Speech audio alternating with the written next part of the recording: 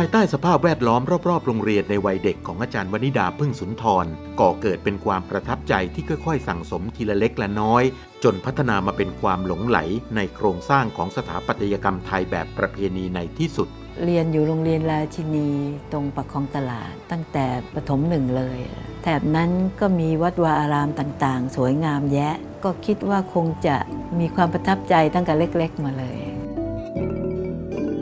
เส้นทางเดินไปสู่การเป็นสถาปนิกของอาจารย์วนิดา เริ่มชัดเจนขึ้น เมื่อท่านได้เข้าศึกษาต่อในคณะสถาปัตยกรรมศาสตร์ มหาวิทยาลัยศิลปากร โดยมีบรมครูทางด้านสถาปัตยกรรมไทย อย่างพระพรหมพิจิตเป็นต้นแบบด้านองค์ความรู้ให้แก่ท่านคณะเนี่ยเปิดมาเป็นปีที่ 3 เป็นสถาปัตยกรรมไทยเลย อาจารย์พระพรหมพิจิตรเป็นคณะบดี อาจารย์ก็เป็นข้าราชการของกรมศิลป์ ก็ได้ช่างสิบหมู่ของกรมศิลป์มาสอนทั้งนั้นเลย ไม่ว่าจะเป็นแกะสลักอาจารย์ชม้อย ลายลดน้ำท่านอาจารย์แต้มมาสอน พอปลายปีที่3ศาสตราจารย์อันนิมานเหมิน ก็ทำหลักสูตรเป็นปริญญาตรีเลย จะเรียนทั้งสถาปัตยกรรมไทยแล้วก็สากลด้วยเรียนควบคู่กันไปเลย เพราะนั้นก็เลยเป็นปริญญารุ่นแรก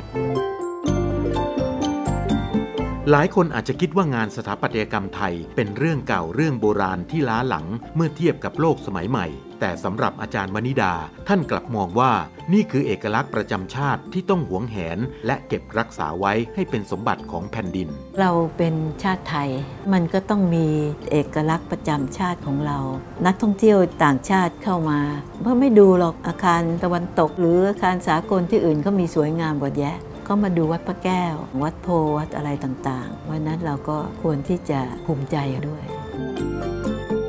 งานสถาปัตยกรรมไทยในแต่ละยุคสมัย ก็ใช่ว่าจะต้องคงรูปแบบ หรือโครงสร้างดั้งเดิมเอาไว้อย่างเคร่งครัด โดยไม่เปลี่ยนแปลง เพราะในความเป็นจริงแล้ว งานสถาปัตยกรรมไทยก็มีพัฒนาการตามความเปลี่ยนแปลงของสังคมมาโดยตลอด บางคนบอกว่าสถาปัตยกรรมไทยเป็นสิ่งที่ตายแล้วไม่ใช่ สถาปัตยกรรมไทยไม่เคยตาย จะมีวิวัฒนาการต่อเนื่องกันมาตามประโยชน์ใช้สอยตั้งแต่สมัย ทวารวดี สุขโขทัยลบบุรีอะไรต่อมาจนปัจจุบันนี้ ที่ตายแล้วนั่นก็คือเป็นโบราณสถานที่เหลือแต่ซาก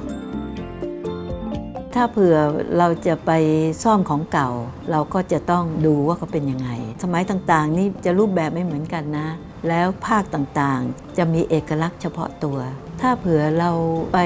ซ่อมของเดิมที่เปลี่ยนไปเลย มันก็ไม่ใช่เป็นสมัยร้อยปีหรือ 50 ปีกว่ามาแล้ว มันกลายเป็นสมัยปัจจุบัน ถ้าไปดัดแปลงเอาเองโดยไม่มีความรู้บางครั้งเนี่ยมันจะเป็นการทำลายมากกว่า แต่ถ้าเผื่อเราจะสร้างใหม่ ประโยชน์ใช้สอยมันเปลี่ยนไป อย่างเช่นว่าเจดีย์สมัยโบราณนั้น จะเข้าไปใช้ประโยชน์ภายในแทบจะไม่ได้เลยแต่ปัจจุบันนี้เราสามารถเข้าไปใช้ประโยชน์ในเจดีย์ได้อย่างกว้างขวาง แล้วเราก็สามารถประยุกต์ให้เป็นสถาปัตยกรรมไทยร่วมสมัยในแต่ละสมัยได้ งานออกแบบเจดีย์พระมหาธาตุเฉลิมราชศรัทธา ซึ่งประดิษฐานอยู่ที่วัดไทยกุสินาราเฉลิมราช ประเทศอินเดีย นับเป็นสุดยอดผลงานของอาจารย์วนิดาพึ่งสุนทร ที่ได้ถวายงานรับใช้ในหลวงรัชกาลที่ 9 จนกลายเป็นเจดีย์ที่มีลักษณะเฉพาะประจำรัชกาลของพระองค์ พระองค์ท่านต้องการให้เป็นเจดีย์ที่ไม่ใหญ่มีความพอเพียง ราะฉะนั้นก็เลยต้องมีการออกแบบเป็นเจดีย์รูปแบบใหม่ก้ายอดอยู่ในหลังคาสี่เหลี่ยมเดียว แต่ต้องมีความสง่างามและสมพระเกียรติถึงแม้จะเป็นเจดีย์เล็กๆพระเจ้าอยู่หัวท่านทรงพระวินิจฉัยทุกขั้นตอนตั้งแต่ออกแบบ การใช้วัสดุใช้สีใช้อะไรตะไรขึ้นมา พอสร้างเสร็จแล้ว พระองค์ท่านก็พระราชทาน พระบรมสารีริกธาตุ แล้วก็เส้นพระเจ้าประดิษฐานอยู่ในเจดีย์นั้นนะคะ ก็ถือว่าเป็นพระมหาธาตุเจดีย์ที่พระองค์ทรงสร้างเป็นพุทธบูชา อัตลักษณ์เฉพาะในงานออกแบบแทบทุกชิ้นของอาจารย์วนิดา มักจะมีลวดลายหรือรูปทรงที่อ่อนช้อย ไม่แข็งกระด้าง สะท้อนความเป็นผู้หญิงในตัวท่านออกมาได้อย่างชัดเจน งานทางไทยเราเนี่ยทุกเส้นจะไม่แข็ง ไม่ว่าจะเป็นลวดลายสวดทรงหลังคา มันก็ต้องมีปลายสะบัดขึ้นมา คือทุกอย่างทางไทยเรานี่เส้นสายนี่สำคัญ